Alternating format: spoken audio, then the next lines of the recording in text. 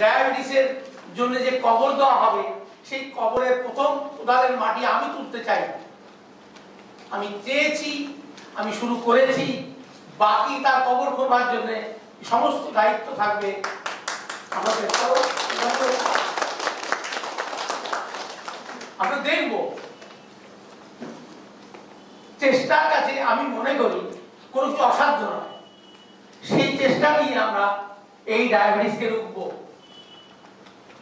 কারণ ক্রমাগত যেভাবে ছোট ছোট বাচ্চাদের মধ্যে জুভেনাইল ডায়াবেটিস ইয়ংদের মধ্যে আইডিডিএম ইনসুলিন ডিপেন্ডেন্ট ডায়াবেটিস বয়স্কদের কথা আমি এখনই বলছি না। যেভাবে গ্রাস করতে চলেছে, আমাদের আগামী প্রজন্ম কোথায় গিয়ে দাঁড়াবে বলা খুব মুশকিল। আর সেই জন্যও কিন্তু চিকিৎসা বিদ্যাই দায়ী একটু আগে বলেছি অনেক লক্ষণ, অনেক ওষুধ। তো এই অনেক লক্ষণ, অনেক ওষুধের মধ্যে আমরা সহজে হারিয়ে যাই। এই হারিয়ে যাওয়ার পর যা করি, তাতে করে আমরা নতুন নতুন কিছু সমস্যা তৈরি করি শরীরের ভিতর, যা আমাদেরকে ক্রমাগত জটিল রোগের দিকে নিয়ে যাচ্ছে, অন্ধকারের পথ দেখাচ্ছে। সেই জন্য আমরা যেন সবসময় লক্ষণগুলিকে ওভাবে গুরুত্ব না দিই। তারপরও একটা কথা আমি বলেছি। ফ্রুট ট্রি আর্ট সিন্ড্রোম, যেটা বলা হয়েছিল আমার এই সংখ্যাতে। যাদের কাছে এই বইটা নেই, তারা দয়া করে এই বইটা সংগ্রহ করবেন। আমার কাছে অবশ্য কোটি বেশি আজ এখন এই মুহূর্তে নেই। যাদের ইচ্ছা হবে তারা দেখবেন এই কেমন করে এই সংখ্যাটা হচ্ছে সেপ্টেম্বর দু হাজার ষোলো সংখ্যা। কেমন করে আমি মানে যে লোকটি আমার সামনে এসেছে আমার কাছে তো এর মধ্যে কোন একটা লক্ষণ ধরা পড়েছে, কোন একটা অসুবিধা হচ্ছে, সে আমার কাছে এলো। আমি তার জন্য যে ওষুধ ঠিক করব, সেই ওষুধটা কিন্তু তাকে সঠিক পথ দেখাবে, দেখাতে নাও পারে কি রকম আমাকে একটি রুগী এসে বলল, আমার ঠান্ডা লেগেছে, ডাক্তারবাবু। কি আমার সর্দি জ্বর হয়েছে? কি আমার কাশি হয়েছে? যে কোনো থেরাপিউটিক সিস্টেমের ডাক্তারবাবু তার ওষুধ দিয়ে দেবে সেরেও যাবে। আমরাও খুব খুশি মানে পেশেন্ট পার্টি বা পেশেন্ট হ্যাঁ খেয়েছে এক ডোজ তিন ডোজ দিয়েছিল, এক ডোজ খেতেই সেরে গেছে। এই সেরে যাওয়াটা ওই মানসিক কতটা ক্ষতি করেছে? আমি এই প্রসঙ্গে ডাকবো ডক্টর কামাল হোসেন সাহেবকে, আমার বইয়ের অনুবাদক যিনি, উনি আপনাদেরকে এই ব্যাপারটা সম্বন্ধে একটু আলোকপাত করবেন। কামাল আসুন। কেমন করে? আমাদের একটা অঙ্গকে চিরকালের মতো নষ্ট করে দেয় এবং আমাদেরকে একটা জটিল দুরারোগ্য ব্যাধিকে এনে দেয়। পাঁচ নম্বর অবজারভেশন দেখুন, লেখা আছে Emulation comes first, aggravation come afterwards.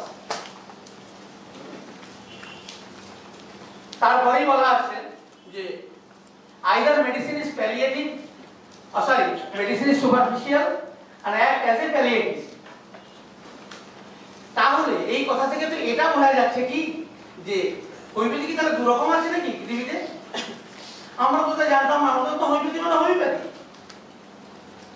কথাটা কিন্তু ঋষির চোখে ধরা পড়েছে। মেডিসিন ইজ সুপারফিশিয়াল তাহলে হোমিওপ্যাথি দু রকম আছে পৃথিবীতে। এক হলো সুপারফিশিয়াল হোমিওপ্যাথি আর একটা হলো ডিপ অ্যাক্টিং হোমিওপ্যাথি আপনারা কথাটা একটু মাথায় রাখুন প্লিজ কারণ আমরা যারা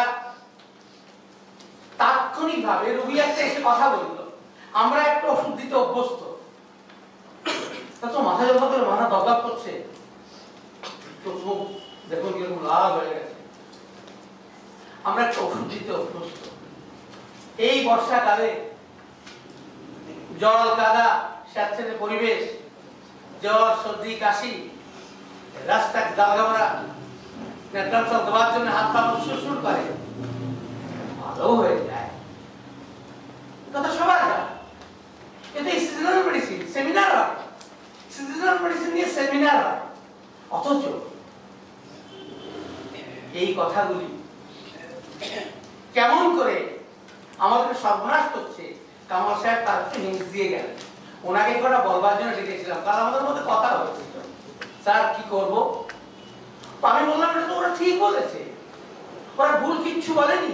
কারণ আসাম স্যাঁতস্যাঁতে জায়গার মানুষদের ক্রনিক রেনাল ফেলিওর যে যে প্রভিন্স যে যে এলাকা স্যাঁতস্যাঁতে damp weather wet weather damp basement এইরকম পরিবেশে যারা আমরা জীবনযাপন করি, তারা খুব সহজে মেনটেনিং কজ এক্ষেত্রে মেনটেনিং কজই বলব এক্সাইটিং কজ বললে বলুন, এইরকম স্যাঁতস্যাঁতে পরিবেশে আমরা সহজেই অসুস্থ হই। আর আমরা সহজেই প্রেসক্রিপশন করি, ওই ওষুধগুলি ওষুধগুলি কি? Superficial act as a palliative এই প্যালিয়েশন আর সাপ্রেশন দুটো শব্দ আছে মেবি আপনাদের সবার কম বেশি জানা আছে, কিন্তু আমি আলোচনার সাথে আরেকবার বলব। প্যালিয়েশন নিয়ে প্যালিয়েশন কি? যেখানে রোগটা ছিল, এখানে আমার চুলকানি ছিল, এখানে আমার দাগ ছিল। বললাম কিছু সেরে গেছে এখানেই আছে কারণ এখনও কালো দাগটা রয়ে গেছে। এটা প্যালিয়েশন হলো এখানে আমার দাগ হয়েছিল। দেখুন একদম সেরে গেছে। তবে কি জানেন, ওই যে মাথা যন্ত্র কথা বলছিলাম না? ঠিক বলতে পারব না আপনাকে। তবে আমার মনে হয়, আমার গায়ে তো আরও জায়গায় দাগ হয়েছিল। সেরে যাওয়ার সেরে তো গেছে বেশ কিছুদিন। আমার মাথাটারও সমস্যা বেশ কিছুদিন। কি জানি ঠিক বলতে পারব না, আপনি বুঝে নিন। তাহলে, এখানে কি হয়েছে? এটা সাপ্রেশন হয়েছে।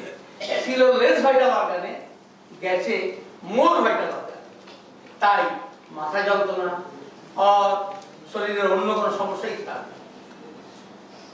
তাহলে আমরা যারা সর্দি কাশির জন্য সুপারফিশিয়াল মেডিসিন ইউজ করছিলাম, যাকে বলা যায় আমরা প্যালিয়েট করছিলাম, এই প্যালিয়েশন কিন্তু একটা মানুষের শরীরের ভাইটাল অর্গানকে ভীষণভাবে প্রভাবিত করছিল।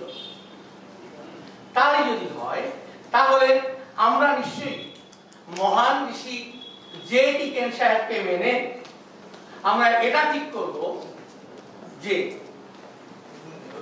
আমরা কি সুপারফিশিয়াল হোমিওপ্যাথি করব? না, proper homoeopathy deep active homoeopathy করব।